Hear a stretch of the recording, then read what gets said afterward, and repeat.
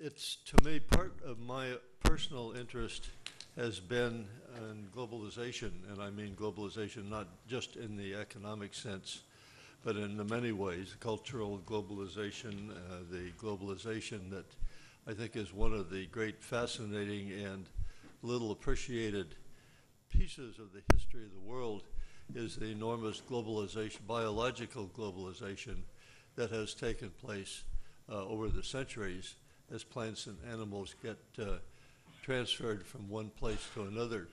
One of the great uh, periods in, in uh, the history of this uh, is what uh, some scholars call the Columbus Exchange, which happened in the years after the expeditions of Christopher Columbus and all that follows.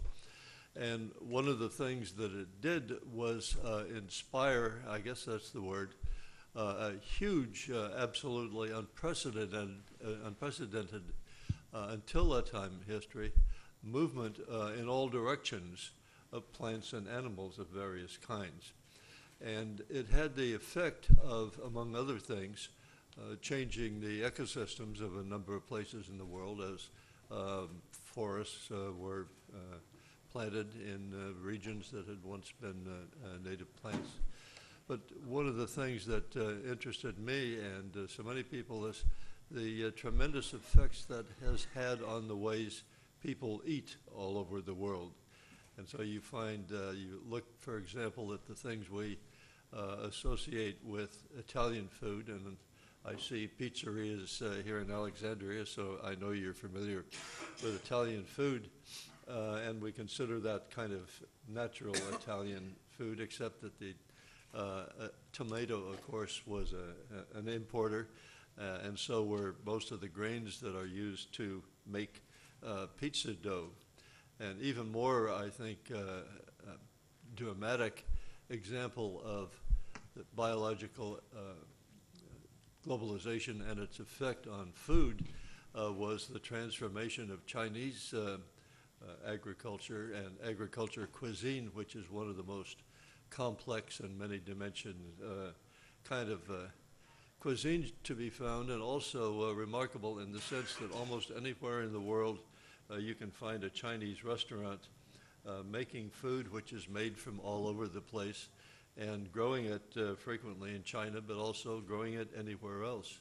In the United States, we find farmers growing uh, small uh, specialty plants uh, that are necessary for, say, uh, uh, Thai food, which is very popular, I can tell you, in uh, California, where I live, one of my favorites. And in order for us to have Thai food, you have to have somebody growing lemongrass and various other things.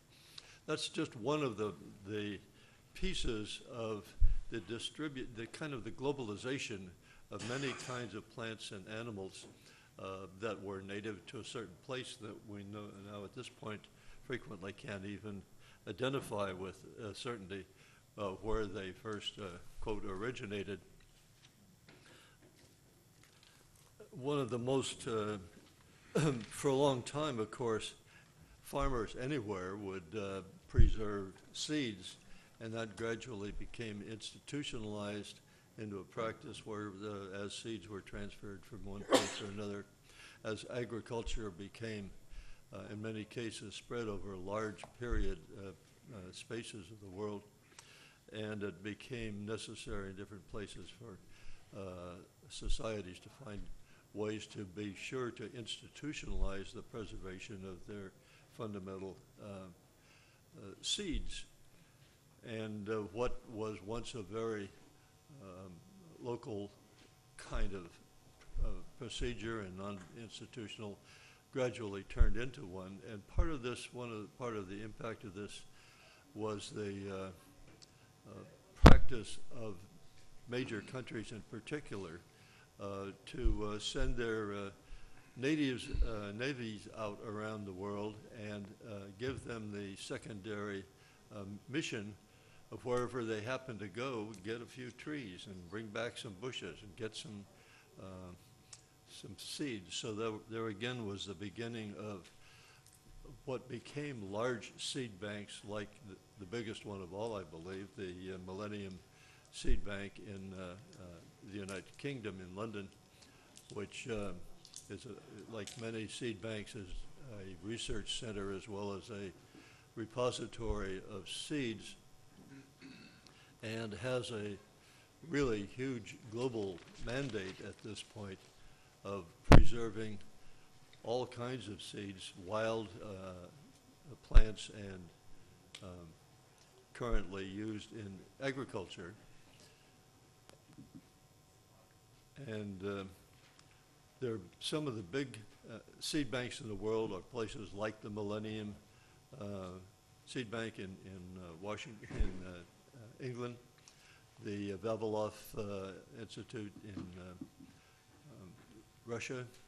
Vavilov, Nikolai Vavilov was a person who was very dedicated to going about the world. I believe he made something like a hundred voyages collecting seeds from all over the world and was uh, uh, rewarded for his great uh, services to uh, Soviet uh, agriculture by being imprisoned uh, for 20 years or so where he died.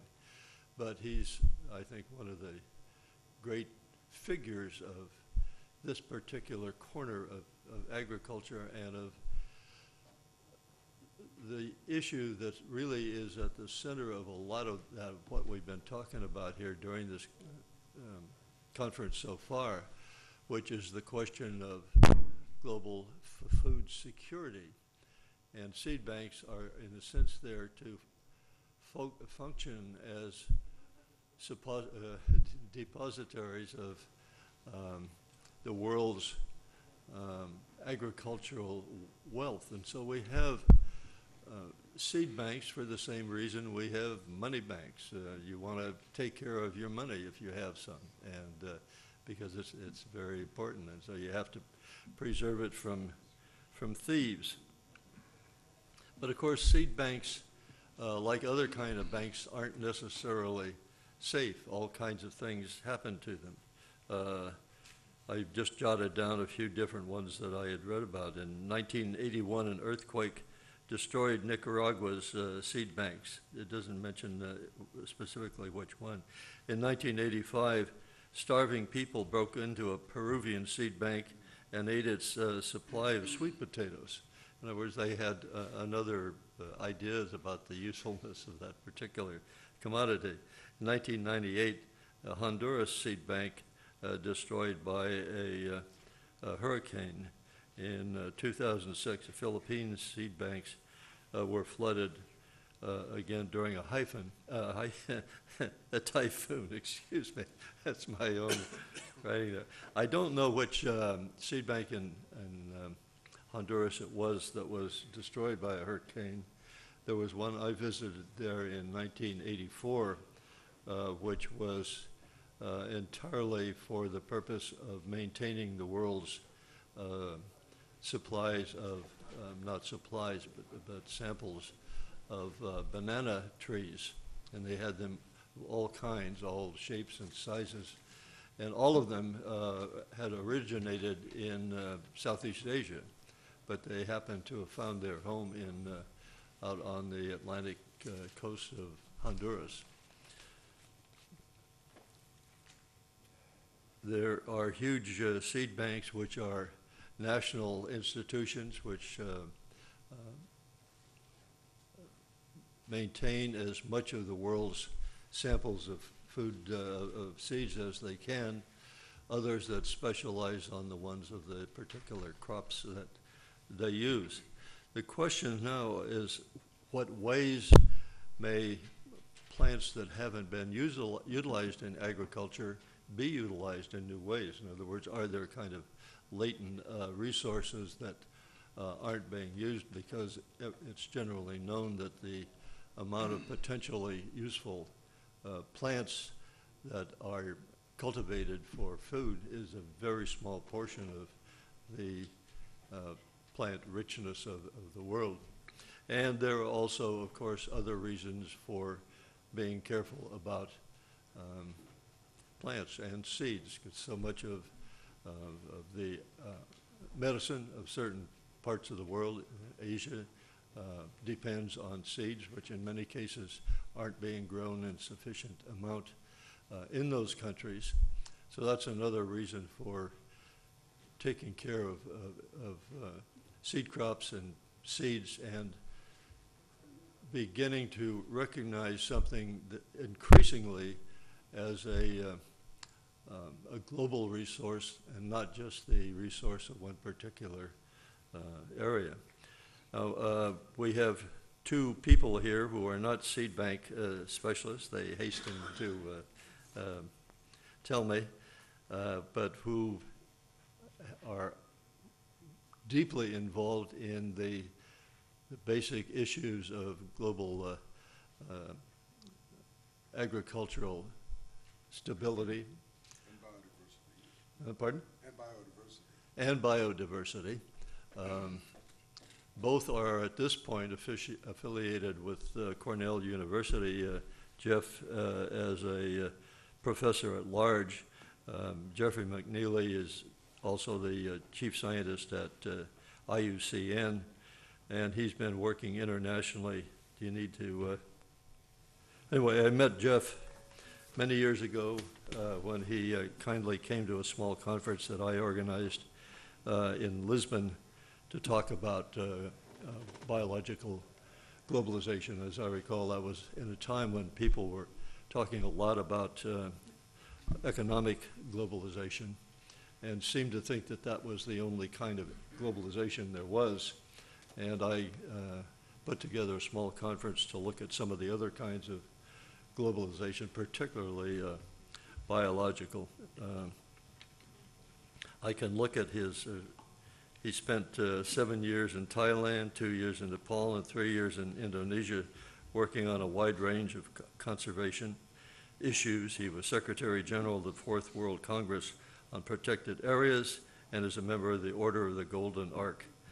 Uh, He's uh, chief scientist, was chief scientist until his retirement in 2009 of the uh, Commission on National Parks and Protected Areas, later becoming program director and then deputy general director and chief scientist until his retirement in 2009. He holds a degree in anthropology from the U- University of California Los Angeles, and more recently, he was the co-founder of Eco Agriculture Partners and its founding president. Jeff? Okay, thanks, thanks, Walt. Um, So my, my line, and, and I, this is my story and I'm going to stick to it, is that seeds ought to be free. We all ought to be ha- having free access to seeds. Uh, My argument is that seeds are a global public good, and that seed banks need public support in order to make them available to everybody. So if we look at what it takes to make a, a modern high-yielding variety, this is um, a, a, a, graph of what it takes to make a high-yielding variety of wheat. And all these different lines that you see are, um, are genes that are held by seeds in different seed banks around the world. And you can imagine if somebody had to negotiate for each one of those lines of, of genetic diversity with an owner and work out a deal, um, it would take centuries before we could get anything new. But this happened because there was free um, exchange of seeds. But I think the other critical point here is that the, the high yielding varieties that we see today have many ancestors that come from all over the world. Originally, uh, many of them from this part of the world, uh, especially Iraq. Mexican farmers plant many varieties of maize, and Mexico is, a, is the world center of maize. But when climate change happens, and not if, but when, are they going to be able to adapt to the changes? This is a map of Mexico just showing the, the climatic diversity of Mexico, which is one of the reasons why Mexico has such uh, tremendously diverse um, plants and, and animals, and why it's the center of, of diversity of wild maize as well as domestic. And the wild varieties that, that are already adapted to these um, different climatic zones may be able to provide the genes that can be incorporated into the domestic varieties of maize and um, be able to adapt to climate change. And if you look at, at potatoes, when you think of potatoes, you probably think of something that's nice and round and, and looks like a potato. This is what potatoes really look like. If you go to Peru, which is the, the homeland of potatoes, this is what you'll see. And this diversity is something that is essential to the, the farmers in Peru to be able to adapt to the changing conditions that they face. So adapting to change is something that we need, um, and if, if we're going to adapt to the changing conditions, and we've certainly heard often enough in these few days at this meeting how conditions are going to change. So it's not if, it's when. Things are changing all the time. To be able to adapt to that change, we need genetic diversity, and that genetic diversity is, is carried um, for agricultural plants by seeds. This is, this is a, a seed bank that saves um, what are called heirloom varieties. And these are varieties that farmers have developed for themselves. They're not uh, commercial varieties, they're ones that uh, farmers have developed and are now making available to others. Um, here's a little survival seed bank. And so if everything in the world goes wrong and you've got this little seed bank um, that's contained in these vacuum-packed envelopes, you could you can grow your own food. Uh, so people are um, the ones who are worried about surviving and some, something horrible happens.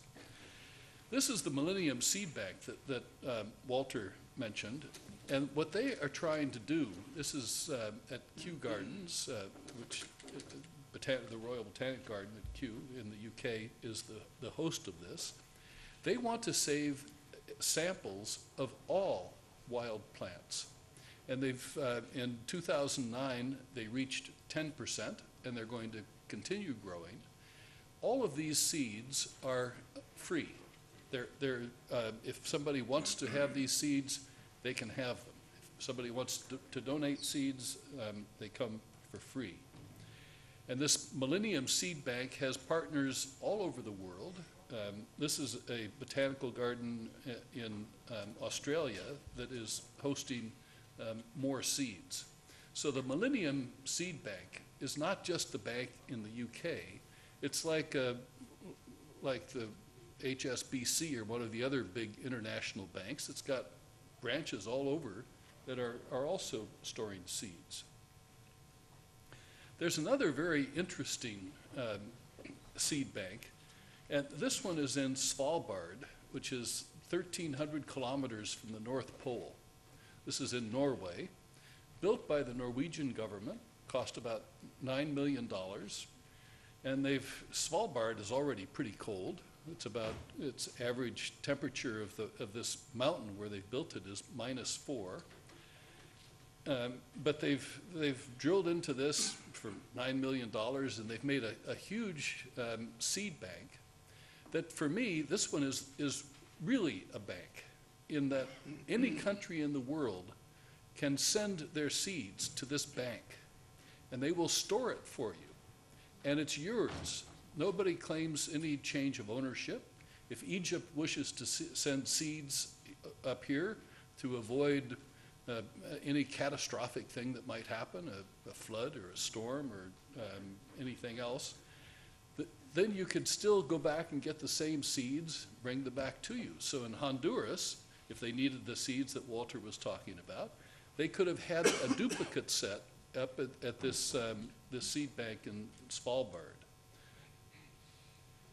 Many countries have national seed banks. Um, in Egypt, it's called a national gene bank, and a seed bank is just one form of a gene bank.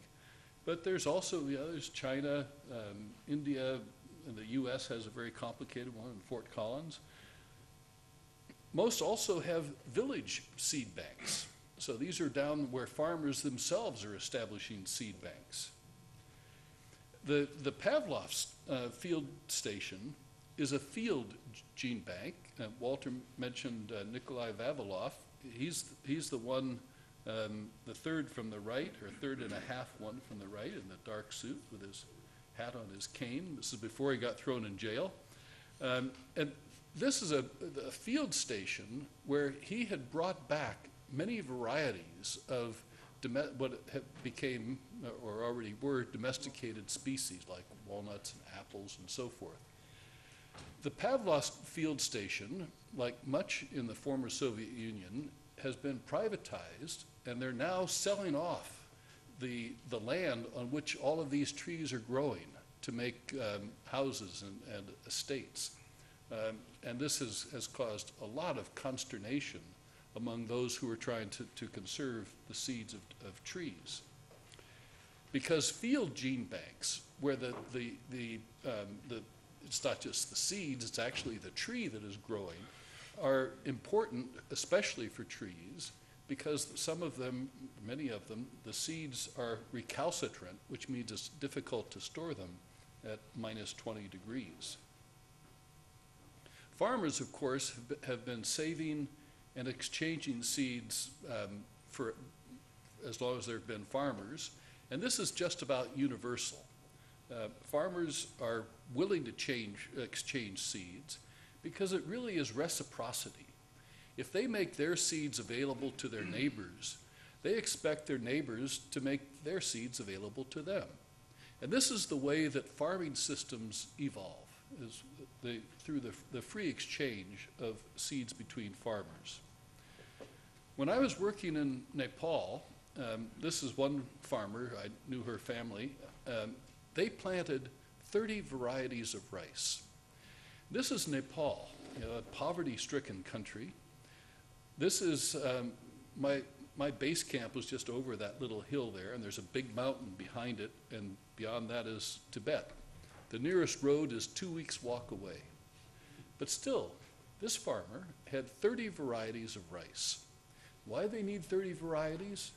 Because each of the fields was about the size of this stage, and they were up and down the mountainside at different temperatures. So the irrigation water was a- of different temperatures, and it had different exposure to the sun.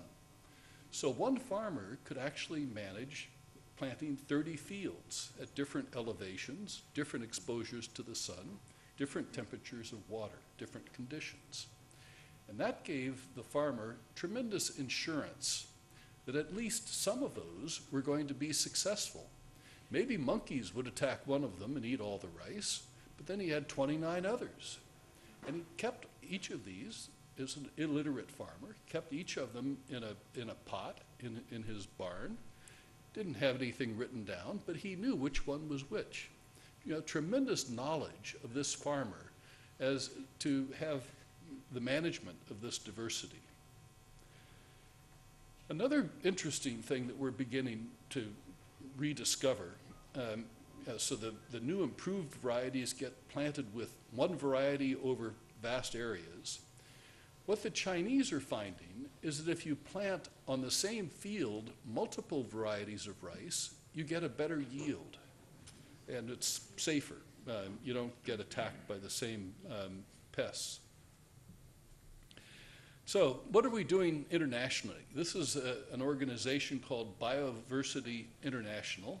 It's actually used to be called the, the International Plant Genetic Resource Institute, and, and I don't know if you can see the little sign there, it was called IPGRI, but now it's called Bioversity. And they're dedicated to conserving plant genetic diversity. That's, that's their mission. They're part of the consultative group uh, on international agricultural research. There's now an international treaty for conserving plant genetic resources, but you'll notice this is plant genetic resources for food and agriculture. So they focus on a relatively small number of, um, of plant genetic resources, not, not all of them. But here we have FAO working on plant genetic resources, and we've got Bioversity helping to, to build national capacities for storing, storing seeds and exchanging them. There's the Global Crop Diversity Trust, and this is what is, is supporting the, the Svalbard, um, the, the bank way up in, in the north, um, through donations and, and various other ways, providing the funding that is necessary to developing countries to enable them to send their seeds up to Norway and to help prepare them for storage. So the funds are out there and they are in fact available. So what's the problem? Well, we've heard um, often enough at this meeting, we're going to need a lot more food. We're going to have more people um, at a time when the, the climate is going to be changing quickly. And that seed banks, in fact, hold only a small proportion of the, the species of the world. The Millennium Seed Bank, 10%, and they've made a real big effort at it. The Global Treaty, as I mentioned, has only the, the, the main crop species. And some governments, in fact, maybe even many, are now reluctant to exchange seeds because they've become commercially valuable through biotechnology, and, and we've heard how difficult it is to get a biotech um, crop approved. It takes a lot of money. So it's become, um, there, there are now intellectual property laws um, that discourages farmers from conserving their own seeds and exchanging them. Uh, the, the whole system has become commercialized. And you remember my opening comment was I think this is a, this should be free. This should be a, a global public good. And so controversy arises when people try to patent um, plants. And so here's um, neem, a tree that grows in, in um, India that has multiple benefits to people. But a pharmaceutical firm in the US tried to, um, to patent the products from neem that ended up getting turned down, but many of them are in fact being patented. Uh, some of them work and, and some of them don't. You know, everything from basmati rice to, to turmeric, uh, all of these well known by the people who grew them, but still, they're not the ones who patented them. It was patented by somebody else. So we, we also have heard about GMOs, genetically modified seeds, and these are often very popular with farmers, but they're all patented, and generally, saving their seeds is either forbidden or discouraged. We just heard about golden rice, which is a, a magnificent exception. That's going to be distributed free of charge. The others, um, companies, it took them a lot of money to develop these GMOs. They've got to get their money back. It's per- perfectly understandable. So what, what are the farmers doing to respond? Um, they're, in, in uh, Peru, is one example, they're making community biocultural protocols, ways of, of ensuring that they have access and share the benefits to the, the genetic diversity of especially potatoes. There's a, a, a potato seed park um, up in the up in the Andes where they grow these, and they've now agreed among themselves how to, to exchange the seeds. There's also the, in 2010, under the Biodiversity Convention, a protocol that has now been signed by over 100 governments on access um, to genetic resources and the, the fair and equitable sharing of benefits arising from their use. How they're going to put that into practice remains to be seen, but the, the concept is an interesting one. So, what are the keys? I think we need to conserve all species of plants in their native ecosystems. That's where they're going to continue to evolve. That's where they are going to be able to adapt to changing conditions. We need to recognize the value of diversity. Even as the, the commercial forces in the world are trying to reduce diversity, you know, make, making things more the same, you know, it's, a, I, I, it's interesting to go back to the hotel and I see KFC, Chili's, pizza parlors. so, Egypt, you can find the same restaurants in New York as you have here in, in Alexandria. Um, so, greater uniformity, are we losing diversity? I think we need to recognize the value of diversity.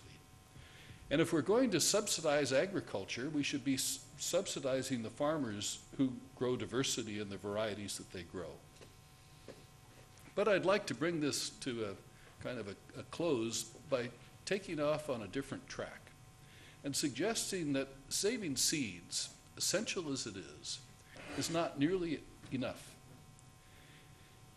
The, the way that we're now handling breeding is really for 19th century agriculture.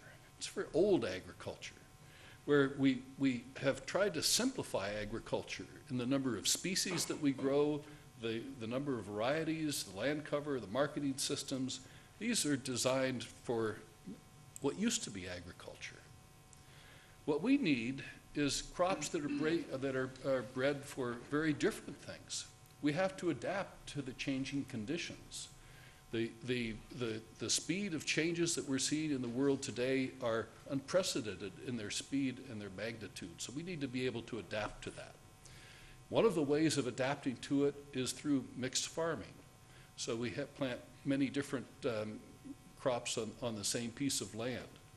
We need to use more species, including some new things, some things that, that maybe were used as, as crops before and are no longer being used, but now we have to use them again. We have to be more efficient in the use of water. How do we do it? Well, we look at, at perennial crops, uh, genetic diversity, and then the most important thing is that agricultural um, use of the land needs to be seen in terms of larger ecosystems that surround it. Because those little patches of land that we call farms are not really isolated. Their success depends completely on the, surround, the way the surrounding land is used as well. So if we look at the, at the kinds of services that are provided by ecosystems, the Millennium Ecosystem Assessment in 2005 came out with their report, and they looked at, at four types of ecosystem services supporting, provisioning, regulating, and cultural. Provisioning is, is giving us food, but without these other ecosystem services, we wouldn't have those provisioning services. And I think one of the other interesting um, elements of this way of thinking is that they added cultural services of ecosystems. So it isn't just biology, it's also your culture. Our culture, anybody's culture, depends on the kinds of, of biodiversity, the kinds of ecosystems within which they live. And this is the way that we get um, well being security, the basic material for good life, health, good social relations, and the freedom of choice and action. That's the way that they defined um, the well-being. So if we lose species, it affects the resilience of ecosystems. The restoration of biodiversity enhances the productivity of ecosystems. And the areas that are of high priority for biodiversity also deliver uh, many ecosystem services. Wild relatives of crops, um, and there, there may be 250 to 300,000 species of plants. And you think about the number of crops, it's only you know, a small handful. But the wild relatives are sources of genetic diversity that we're just beginning to understand. Many of us eat wild berries. People go out and collect them. They continue to evolve by adapting to changing conditions. And I just use berries as, as one example because I had a nice picture. And um, Walter talked about Vavilov, Nikolai Vavilov. What he came up with, one of, one of his major works, were, and these are now called Vavilov centers. These are centers of diversity, places in the world where particular crops originated and have now spread all over the world through the Columbian Exchange, many others. Um, I won't go through uh, all of these lists, but it's, it's interesting to see that different parts of the world are the homes of different crops that have become important to the entire world. So that's why we need to, to continue to exchange the genetic diversity that may be home to one region, but are now essential to another region. Uh, Brazil, for example, is um, the, the home of various beans and peanuts and so forth, but they really like soybeans. They grow a lot of soy, um, and that comes from China. So that kind of exchange. And if you look at these centers of diversity, these are the places where it's especially important to maintain the wild ecosystems that, ha- that originally produced the genes that led to these um, domesticated crops. So I'd like to close with, with six principles. The first is that diverse landscapes provide multiple services, and simplified landscapes provide only a few. They might make more money for somebody, but they're not nearly as sustainable as the ones that are uh, that have greater diversity. And the second principle is that if we're looking at the benefits to people, it's best assessed at the landscape scale. So if we just think about Egypt for a second, Egypt is utterly dependent on the Nile River that has its beginning in Uganda and comes from Uganda all the way down here. What happens to the, the Nile River is um, all the way down in Sudan, in Ethiopia, in um, Kenya, in uh, Tanzania, and so forth, is absolutely has an effect on what happens here in Egypt. And that's why we need to think about the landscape scale. And of course, governments do that. The third is to, to build ecosystem uh, services into agriculture, um, and for the reasons I've already given. The fourth is to make sure that we still have some mature ecosystems. And looking at these as living gene banks, sometimes we call these protected areas and people go visit them for the wildlife and the, the beauty of the landscape. But really, what's valuable for these places is that they can serve wild genetic resources that continue to evolve and are, are still accessible to us to um, use as we need them in the future. Then we need to, to harness the best available technology to conserving the plant genetic diversity. I think we all know about this. We know that we've mapped many genomes. Genetic modification is, is widespread. Synthetic um, biology is being developed. In Texas, they've developed a, a, a rabbit that's big enough. No, they didn't really. but uh, there you go. And we also have heard that DNA has a tremendous amount of information, but we're only just beginning to understand it. Photosynthesis is the way that plants convert sunlight into energy, into the food that we eat. If we could figure out how to make photosynthesis more efficient, even by a few percent, we would greatly enhance the productivity of food or of agriculture.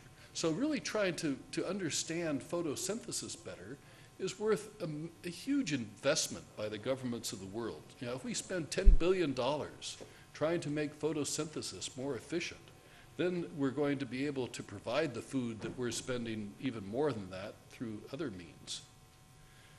Big problem is that there are people um, who don't like this. She says, I won't eat anything that's genetically modified. It could be unhealthy.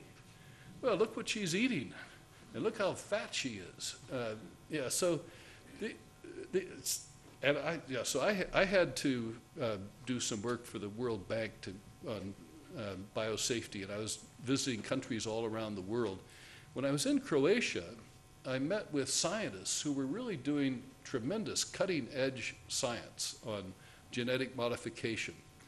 But then I also had to meet with civil society. So I met with about 30 non-governmental organizations, in a room something like this. And when I was talking to them, I noticed that all of them were smoking. And I held up a package of cigarettes. And on the package of cigarettes, it basically said, You smoke, you die. And they were worried about the health impacts of GMOs, which, for which there's no evidence whatsoever while they're smoking. Yeah, so, you know, people are not rational. And this afternoon, there's, a, I'm going to go to the session on the psychology of, of how people think about GMOs. And then the sixth principle is continue um, active public goods research, which is um, conserving the diversity, and linking diversity, biodiversity with agriculture. So looking not just at the fields, but looking at the surroundings, looking at, at the, the genetic wealth of the entire world as part of our patrimony, or our matrimony. Is this mission impossible? Yeah, are we going, going to be able to do this? Uh, Not going to be simple, but if we work together, it's not going to be impossible. What we need is a, is international cooperation, cooperation between us, cooperation with the, the, the seed banks that are being established in the, in the public good, that are open access, free, and looking at seeds as a, a global public good. Thank you.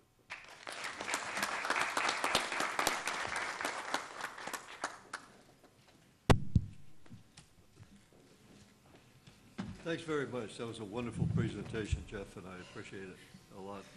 Uh, Number of things I'm going to want to return to in uh, discussion time. Um, Norman Uphoff um, studied uh, political science at the same place that I did uh, several decades ago. Um, But most of his career, I believe, has been with Cornell, all of it? That's most of it, all right. Uh, He's professor of government and international agriculture at Cornell, at Cornell, currently director of the Cornell Institute for Public Affairs, having previously served for 15 years as director of the Cornell International Institute for Food, Agriculture, and Development. He's worked on agriculture, agricultural and rural development issues for over 40 years, starting as an applied social scientist concerned with participatory uh, development strategies, local organizations, irrigation management, and social capital. He has become increasingly involved with agro- agroecological strategies to meet world food needs. For the last 15 years, he has been engaged with the evaluation, understanding, and dissemination of the system of rice intensification, SRI, agroecological methodology developed in Madagascar. Uh, That's the main part of it. I'm going to ask uh, Norman to take the stand. Thank you very much, Walter. Uh, When I was first uh, invited to join this discussion this morning, I said, when I think of seed banks, you always think of collections of seeds of genetic material. I said, I'm not an ex situ type, I'm, I'm an in situ type, not taking things out of their ecosystem, but rather trying to manage them within that. Answer was, that's okay. And I said, well, I'm very interested in this system of rice intensification, which Walter referred to. And turns out, as I thought about it, there are a lot of interesting things we can learn from that, that, that I think bear upon our subject of how do we deal with maintenance of the world seed banks, threats and challenges. What I'd like to do is emphasize the intrinsic value of indigenous varieties to be preserved, with special reference to rice.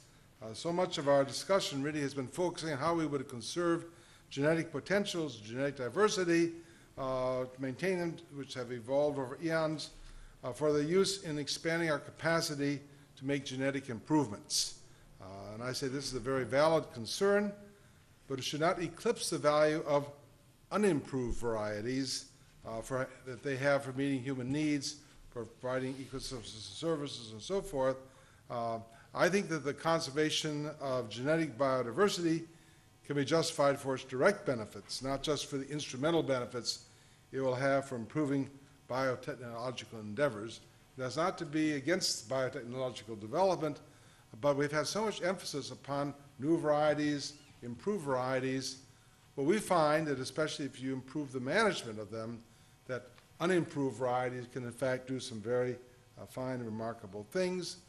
All of us know or should know that genetic potentials are just that, potentials. I talked with uh, Gilbert Uman yesterday after his talk. I said, could we not use the metaphor blueprints for the gene? The gene is not a blueprint. It's a starting point. We don't replicate what's in the gene. The gene interacts with its environment to produce what we call phenotypes, phenomena. You're a phenotype, I'm a phenotype. As my wife likes to say, we don't eat genotypes, we eat phenotypes. That's where we want it to end up. And the plant breeders talk about the interaction of phenotypes and genotypes. The phenotype, the phenomenon, is a function of the genetic inheritance or potential, the environment, and then the interaction between the genetic, genetic potential and environment. And what we see is that if you can change the environment, you can achieve some very beneficial results over and above what you have in the uh, uh, genetic potential.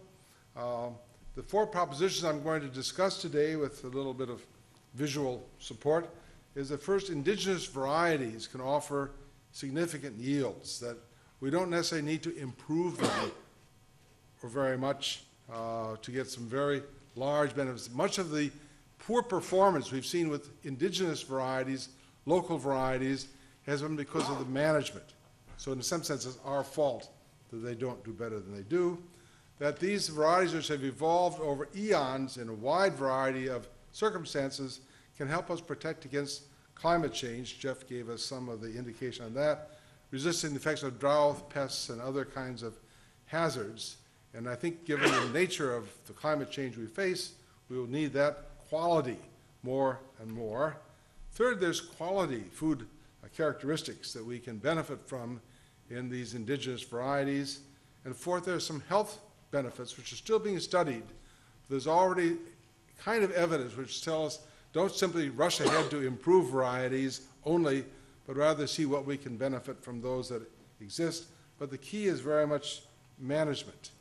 This is a picture from Indonesia comparing a rice plant. These plants are the same variety, but the one on the left was grown with some modified methods which we call the system rice intensification. On the right is the same variety, same genotype, with conventional management. And so you see how different can be the expression of genetic potential when we give, in this case, rice, uh, optimum uh, benefits. You're going to see this woman's rice field a little bit later in presentation and see some of her products now being sold in the United States. Uh, the system of rice intensification, I'm not going to tell you much about it, other than say that we change the management of the plants, the soil, the water, and the nutrients, which has the effect of changing the microbiome, which you've been hearing about in presentations and plenary and so forth.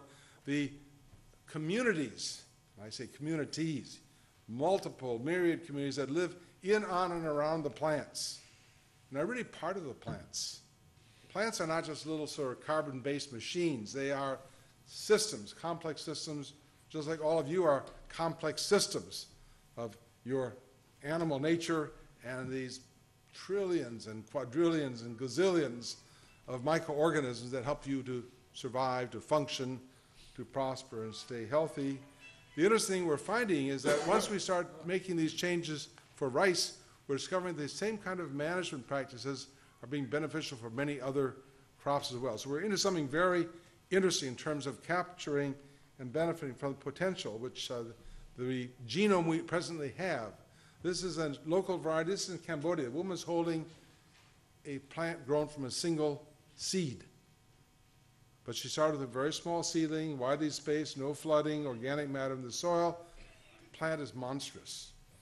I happened to meet her about six months after I received this picture uh, from our NGO colleagues, and I thanked her very much for this picture, which I was using in PowerPoints because it's so dramatic. She went from two tons yield to six tons yield in this field here. And she looked very surprised when I told her I was using her picture for PowerPoints, and we had it on the cover of a book published in Germany. And I asked her if something was wrong. I thought maybe, you know, it's something bad for us to have a picture of a married woman, you know, being shown around the world. And uh, I thought, hmm, maybe it's a, a gender problem. She said, if I don't how you were going to use that picture, I would have gotten my biggest one. She'd just taken this at random. She was sort of embarrassed she hadn't helped us with, with her most impressive one. But the single seed, in this case of rice, can have huge uh, impacts. This is a picture sent to me from Iran, where they're doing some experiments in Amol, showing the difference in the root systems. And note not just the size, but the color. You See how healthy this one on the left is. The one on the right has been flooded, crowded. The roots are degenerating. By the time rice plants reach their flowering stage, usually about three-fourths of the roots have degraded, degenerated because of the hypoxia, the crowding, lack of nutrients. What we do is we plant single seedlings widely spaced. We cut the plant population by 80, 90%, and get doubled or tripled yield from the same genome because it's the the potential is there. So I'm, I'm going to make you really enthusiastic, I hope, about the potential we already have in our genetic resources. This is finger millet from picture from India. On the right, you have a local variety and local management. In the middle, you have an improved variety, bred by the Agricultural University with conventional management. And you see how much difference genetic improvement can make. But on the left, we have one, an improved variety with alternative management, ecological management. And you see this tremendous expression of potential. We can get tripled yields with finger millet by changing the uh, management of the plant. This shows you the difference in the tillers, in the panicles, you see, how much more and larger grains you have. This is a look at the roots of these respective plants. Conventional management on the right, this more agroecological management on the left. This is a picture sent to me from Mali showing a traditional variety with 160 plus tillers on it. It was actually growing in the middle of this field. I don't know if you can see it in here. The farmer thought he was having, you know, modern varieties, but there was that one traditional seed, probably Oryza glaberrima, uh, uh, but an indigenous variety, huge productive potential that was there in the existing genome. So what I wanted to make as my first point is that very good yields are possible if we change and improve the management. Oftentimes, we've gotten inferior results with uh, indigenous varieties because we use a lot of nitrogen fertilizer. I think that's what we need to force them to grow. But these plants did not evolve in a nitrogen-rich environment. They get their nitrogen largely through biological processes in the soil. And so if we add the nitrogen, inorganic nitrogen, the plants do poorly, and they don't uh, give us the response we want. Um, management can have a very large effect uh, on, the, on, on gene expression. Uh, the highest yields we've gotten with these alternative methods have come from improved varieties, hybrids, high-yielding varieties. All our yields over 15 tons per hectare have been with improved varieties, but indigenous varieties can give us 6, 8, 10, 12. In Sri Lanka, we had a yield of 13 tons per hectare from a traditional variety, which is much favored because of its, its qualities. In fact, I was very disappointed. I, I visited the farm of this, actually, he was a deputy minister of agriculture, and he had about 16 varieties, old and new, and his highest was 16 point something with an improved variety, but he had 13 tons with, the, with an unimproved variety.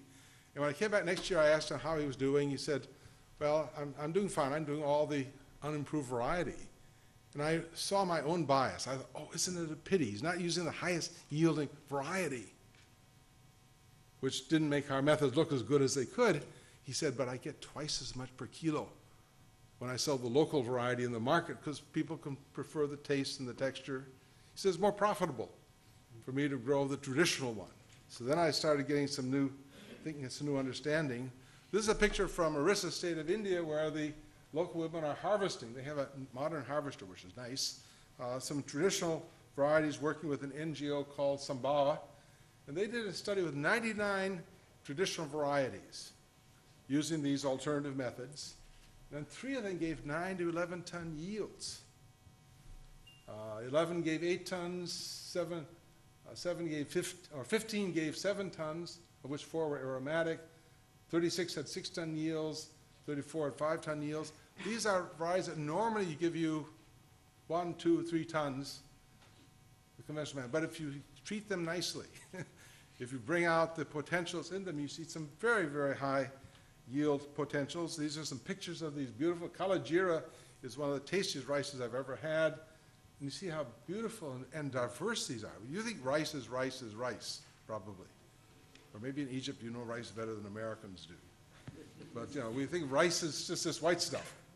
But you see the, the different morphology, different colors, different way of growing, really quite remarkable. So rice is a wonderfully biodiverse genus, and we should learn how to take advantage of it. Don't just use conventional management. Give it a good growing environment.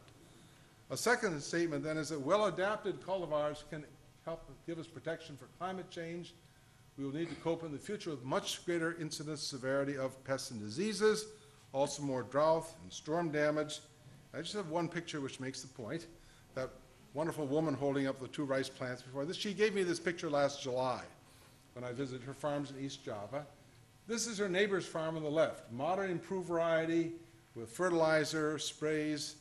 Hers is the traditional variety, uh, Sintanur, eight-ton yield she got. This is after brown plant hopper, terrible pest, had gone through that village and devastated, most of you call this hopper burn, because the insects just, you know, ruin the crop development, and a typhoon also hit. A double whammy, both biotic and abiotic stresses. She got a yield of eight tons per hectare, eight hundred kilograms for one thousand square meters, eight tons per hectare.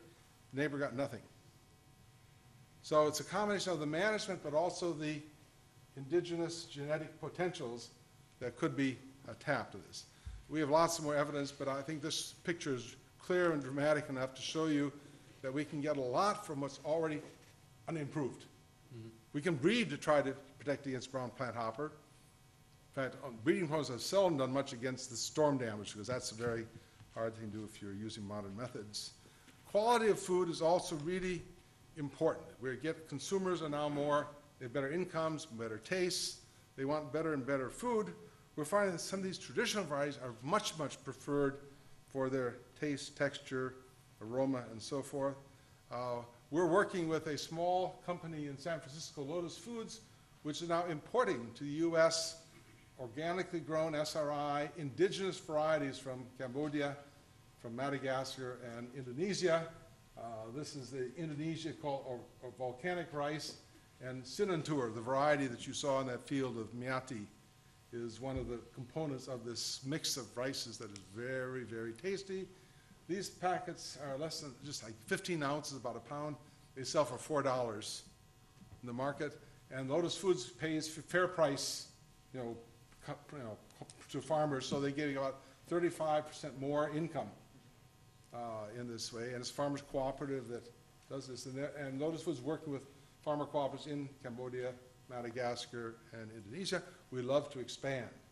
So we can both make these, this biodiversity in rice continue and make it profitable for the farmers and good for the consumers. And then fourth, I just want to say something briefly about health benefits.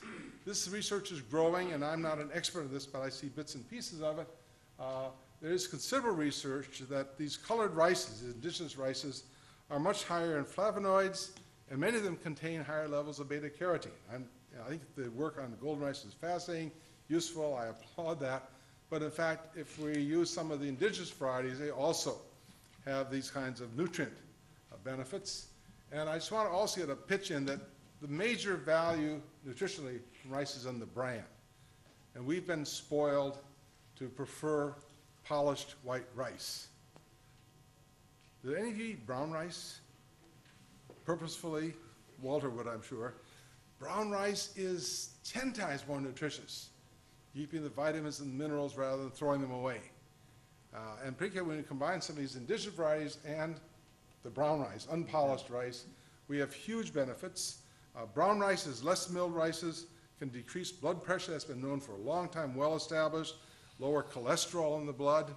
Uh, they have a lower glycemic index, so diabetics, you know, are better served, they'll eat brown rice because it has very slow release of the carbohydrates. So I think that we're going to start looking upon rice as a health food. Uh, It's interesting, when IFPRI does its studies of future demand for rice, they say, oh, rice is just a staple, and so as incomes increase, its consumption is going to go down. My prediction is that, in fact, rice is going to become one of the most popular foods in the 20 21st century. It's going to be really cheap, really high quality, very healthy. If we take advantage of this diversity rather than all this homogenized direction we're going in. This is research I got recently from University of Arkansas and Oklahoma State University where they fed rats colored rice to test what the effects would be. They removed the ovaries from female rice, and then they looked what happens when they have a regular diet, a rice with, a diet with brown rice or a diet with red rice in it. Uh, and these were the results. And you see the first column is where they've, they, they, they do the operation, remove the ovary, but don't take it out, so that's a control. Second is where the ovary is removed. Third is where the ovary is removed, but they're given brown rice or red rice. Look at how the femur, you know, this is the uh, mineral, bone mineral density for osteoporosis. A big, very clear benefit in the bone mineral content, so that people can have, especially women, have healthier, stronger bones if they'll eat the red rice or the black rice uh, as part of their diet. Since it's so tasty, it's not really a handicap or hardship, uh, but it's, it's a nice benefit. And this is some more uh, look at the cortical thickness, cortical area, cortical porosity, uh, separations. Uh, Not every parameter improves, but there's no harm on it, and you actually improve then the bone strength by eating these kinds of rices. Lotus Foods, which I mentioned, actually provided the red rice and the black rice for these experiments. That's how I got this. So just in conclusion, I'll say that conservation of native varieties is a very important matter, and it's not just be able to provide genes for some future improvement. That can be done, it's useful. But these indigenous varieties which have evolved over long periods of time have so many qualities which we can benefit from, but we have to look at the management. If we manage them inappropriately, sort of unnaturally, you know, violating the conditions that they evolve for, we won't see those benefits. But that possibility is there. Our goal with the, what we call SRI is to make use of native varieties and make them profitable for farmers and good for consumers. I will say, and I always do say, as I did say already, indeed, if you want simply yield, the hybrid varieties, the high-yielding varieties will perform better. They're bred for that. But in doing that, they give up some other qualities. That's something about nature. You sort of have trade-offs. So make them very yield responsive. They're not as pest or disease resistant, so it's a trade-off. We think that we're going to have a very changing world. This was emphasized this morning. I agree entirely. And Jeff has also said that in his remarks. How can we use this wonderful patrimony, matrimony of genetic resources for our benefit? In any case, we need to protect our resources. There is a place for the gene banks, but as I said, I, I'm an in situ type, if I can characterize myself. I think we have to, in the natural settings, which includes natural farming, uh, be able to, to utilize, benefit from, and conserve these resources. Well, thank you very much. I I hope we'll have time to answer questions.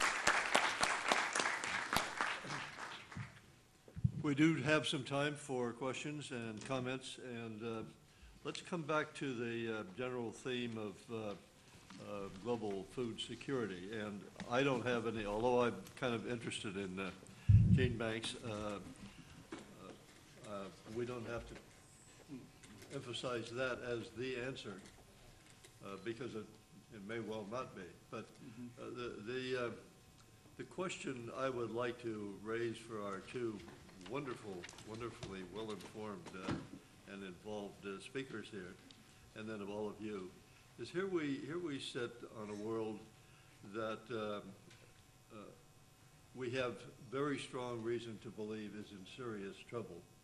And uh, I have been slowly coming to the position that, uh, of one of those who thinks we're in very serious trouble.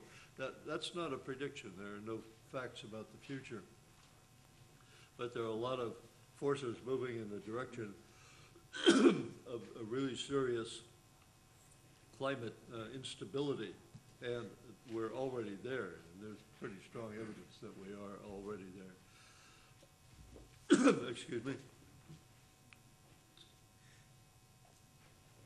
Uh, My question to Jeff and Norman and all of you is, is so what in relation to what we know here about what's happening in agriculture, uh, in order to what we have just begun to talk about a little bit about the existence of a global system of seed banks, which are not only, uh, and I may have underestimated the fact that, that most of the major gene banks are not only places where they stick a lot of uh, seeds in the drawer, but they are uh, research centers, and the two uh, uh, processes are very closely related.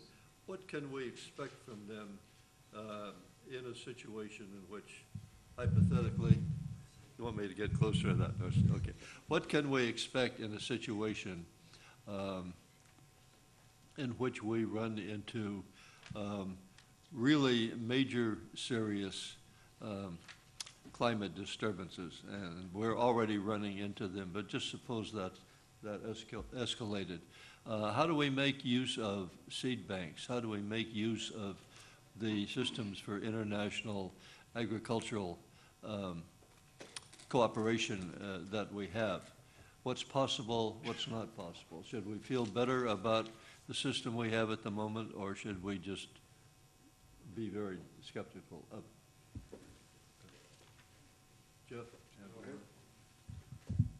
Okay, so if, if we think about the, the future of climate change, the way that, that humans are going to, to um, perceive climate change is through its impact on ecosystems, and especially the impact on um, how we're able to grow food. And I think that the, the kinds of climates that we're going to see are not going to be unique to one spot. So a climate that we might see in the Nile Delta may be very similar to a climate that will be found in, say, the Mekong Delta. Um, and if, if that's the case, then the exchange of seeds between the farmers from the Mekong Delta, just hypothetically, and the Nile Delta is going to be beneficial to both.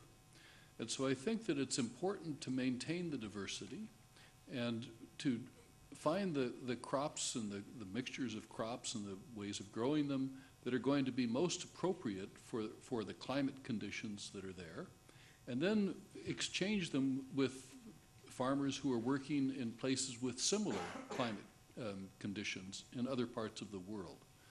So the, the, what I, as far as I understand about climate change is that there will be unique kinds of climates, but they will be the, also found in other parts of the world.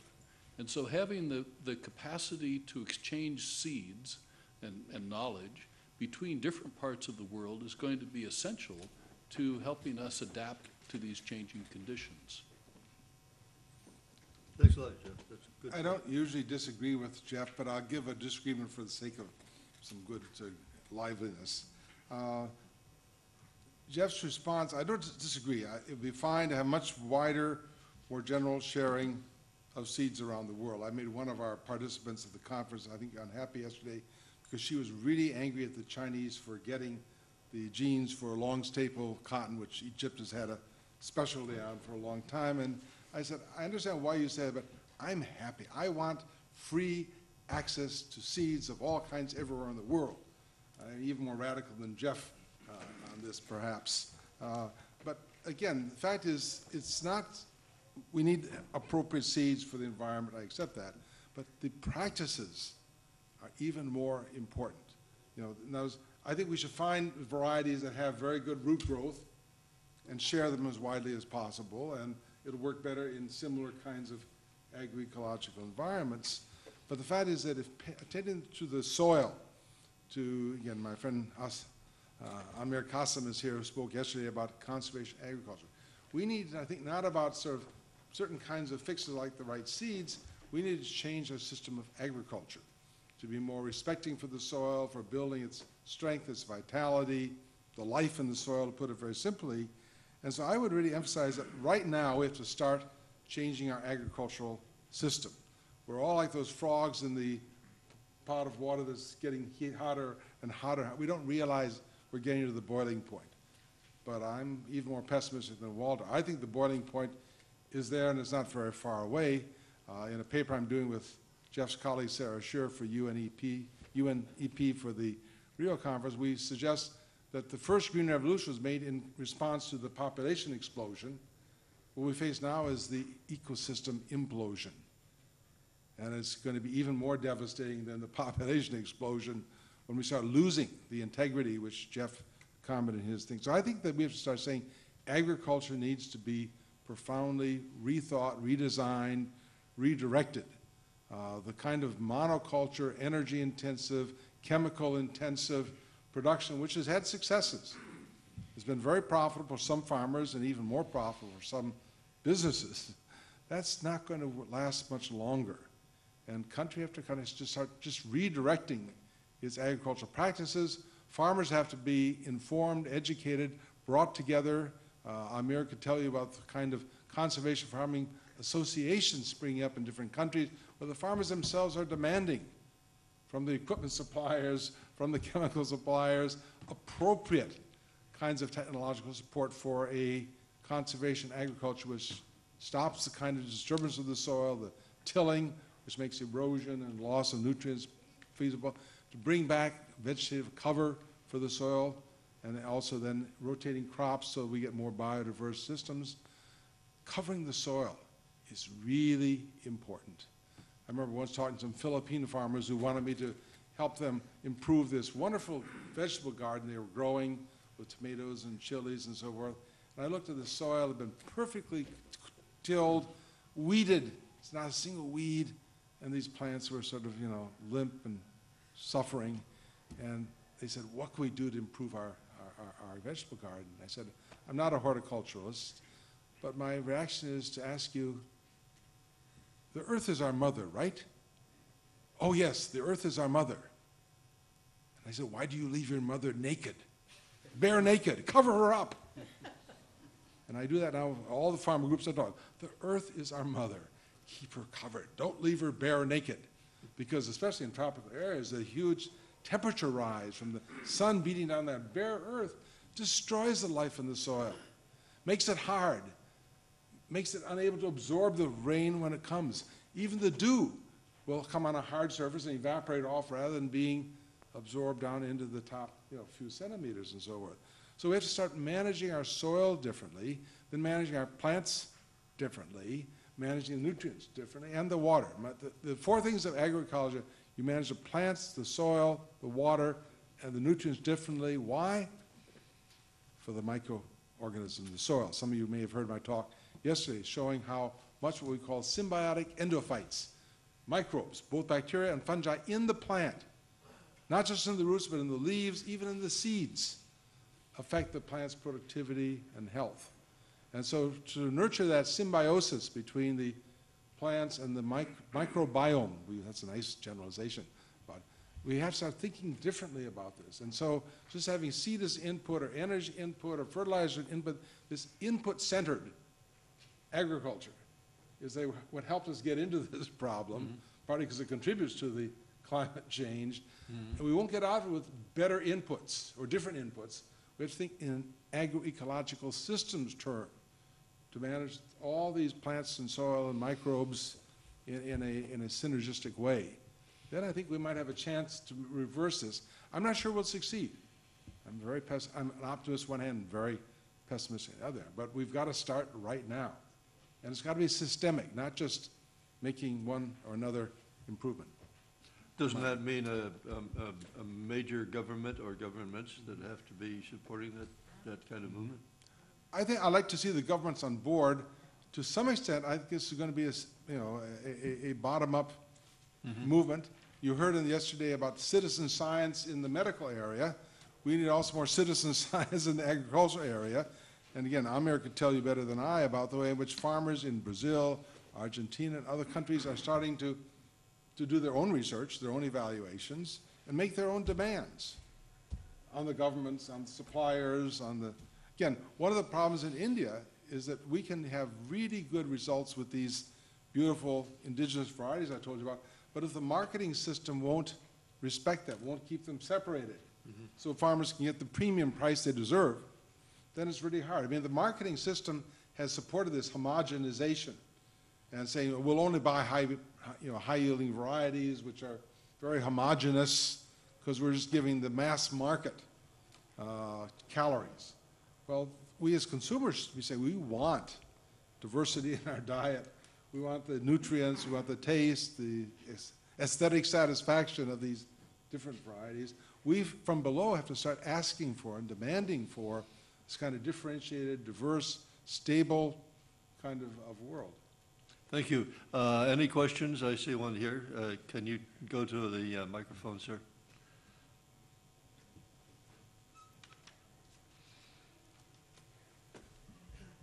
Uh, Thank you, Chairman. I just want to supplement what uh, uh, Norman had said. My name is Amir Kassam. I uh, spend most of my uh, 30 hours a day on conservation agriculture. But conservation agriculture really um, is about making agriculture smart, but not just climate smart, but smart in every, every other way, including the kind of thing which uh, Jeff talked about and Norman talked about. It's not all going to be packed into seeds. Seeds have to be grown, and not just every season, but the, the whole landscape, the field, the plots have to be at their best all the time. So, for example, every drop of rain has to be captured.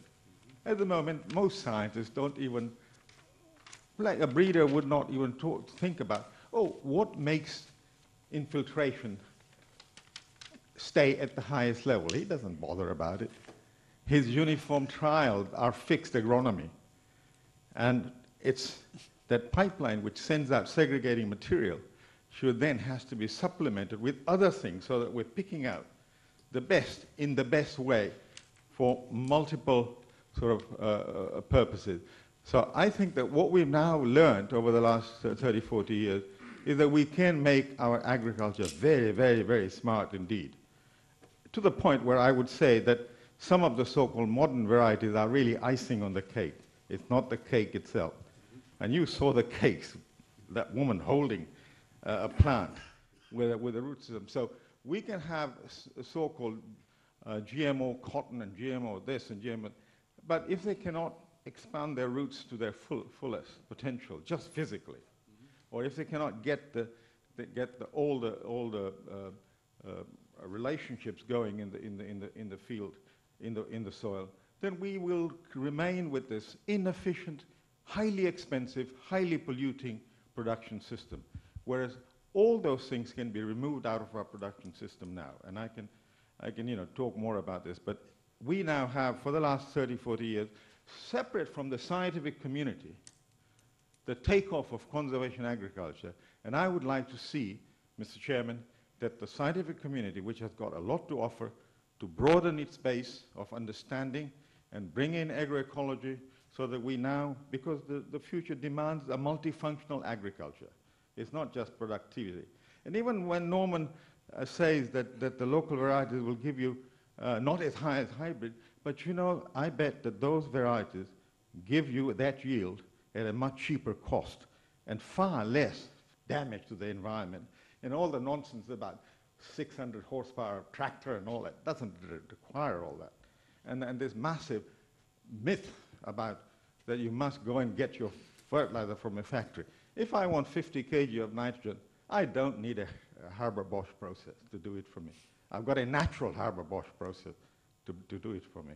So I think that there are a lot of smartness we can bring in, uh, but in the end, of course, uh, we have to use both the production system resilience element as well as the genetic resilience element. Thank you. Thanks very much. Sir, right there. Good day. I am um, Eric Huttner. I run a small um, genotyping company in Australia. And I'd just like to make a comment about uh, maintenance of diversity in uh, plant breeding material. I think we, we've learned, um, uh, and we've even published data on that, that uh, crops which are intensely uh, bred, contrary to popular um, belief, are actually remaining quite diverse because plant breeders have a vested interest in protecting uh, that diversity. Uh, we see it in wheat uh, particularly where over the last 50 years, the average diversity in the breeding line released actually increased rather than decreased. And uh, conversely, we see in uh, lots of legumes uh, a very large, um, a very limited diversity because those species, especially the tropical legume, have received very little attention in breeding. And therefore, the, the available material is, has extremely poor diversity. Um, the other thing I just wanted to say to uh, Professor Kassam is that uh, in Australia there's a lot of science in uh, conservation farming. Uh, uh, enormous amount of money is going from the farmers themselves to do proper research on the best conservation farming technology. Thank you. One more uh, over here and then we'll have to go. Yes. my name is Atul Dogra. I'm from New Delhi and working for ICARDA based at New Delhi. International Center for Agriculture Research in Dry Areas. Uh, first of all, I would like to thankful to the speakers for their good talk. Uh, I have a little query that uh, in India we are working with the farmers which are because in India we have a rice fallow, approximately 12 million hectare of the farm is it's a rice fallow. So when we interviewed the farmers to that why they are keeping a field as a rice fallow, they said that we don't have the suitable varieties for the pulses to be grown. At the time we found that uh, the rate, the replacement rate of the seed is like seven or seven to eight years, the very poor replacement rate. The farmers are saying that the varieties are not so good for us. And at the moment, we are working with them. We have introduced a system of village seed concept because the donor is ready for us to give some money. So we are providing hybrid varieties to them, and the, they, we, are giving, giving some training to the farmers also, uh, so that the village seed concept can be introduced, and the farmer get the, get the, can get the varieties from the farmer itself, rather than going to the market and at a cheaper rate. So my question is that, is we are going in a right way, or what should be done to reduce the like poor replacement of the seeds so that farmer can go at a la- large scale Okay, because thanks. because we are dealing with the small and the poor farmers marginal and the small for the large farmer they can take anything but for the mid uh, like small and the marginal farmer there is a problem my second question is that Wait, wait a minute, sir. Uh, I think we can take one question, uh, and uh, we barely are, we we are out of time, but let's get an Okay. answer to, to your question. E- Thank Either. Well, I think that because the vari- varietal response at local levels is often very differentiated, we ought to be thinking about how we put in place social organization to do the, the multiplication of improved seeds and local sale and exchange. Uh, We've seen in rice, for instance, that farmers, maybe one out of 20 will do the seed stock for the other 19, and uh, they'll get a little premium because they, they settle for lower yields since they're being very, very meticulous. Uh, But we don't have any very good models. Our- Our, our, our 21st century seed system comes out of the 19th century models that Jeff referred to, which are mass, you know, production, economies of scale, homogenization. And to get the most out of that genetic potential, you have to have it fitted to the local uh, conditions. Uh, I don't have a good model to point you to. I think in principle, as a social scientist, to go back to that role, we should be able to work out locally managed systems. They need good technical advice. This is not tell scientists go home, but rather to start thinking about how would we have this differentiated system, which is, also means the seeds are in situ where they are needed. Sometimes we get market blockages where seeds are here, but they're not there. And so in Sri Lanka, I did work with some farmers who were trying to get their own, you know, seed systems uh, mobilized, and especially for the small and poor farmers, uh, this may be a good outlet. Thank you. Jeff, you get the last word, you want it. No? None? Okay, a quick one, I hope. All right. Um, I think it's great to hear that, uh, and from both speakers, uh, three speakers, saying that it's great to have free access to seeds. Seed exchange should be happening ac- uh, across the world and all that. But that's, that's in an ideal world, and we all know that we're not living in an ideal world, particularly when s- everything around the seed is being commercialized. So how can we, you know, gl- continue uh, you know, lead ourselves to believing that you know, there should be free exchange of seeds? Um, there should be free exchange of oil and gas. There should be free exchange of so many other essential commodities. And we will reach the time where even air has to be bought, right? Clean air has to be bought.